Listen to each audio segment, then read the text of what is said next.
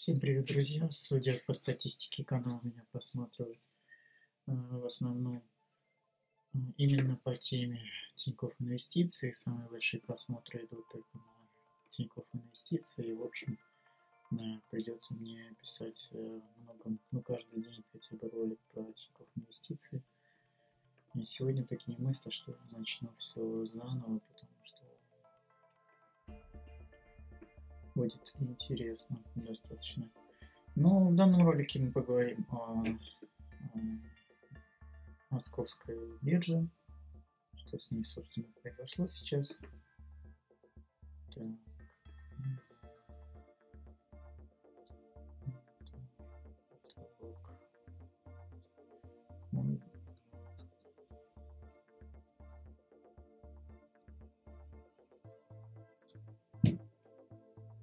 Ну, собственно, вот э, я покупал.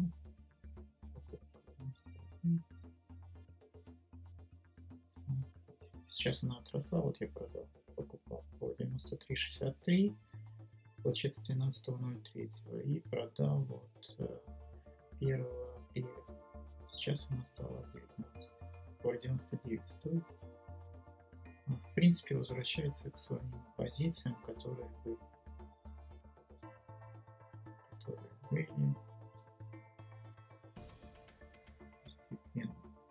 месяц назад. То есть отскок уже пошел вверх. Мне кажется, это определенно к росту и какой-то стабилизации. Может быть, открыли биржу да, в связи с этим.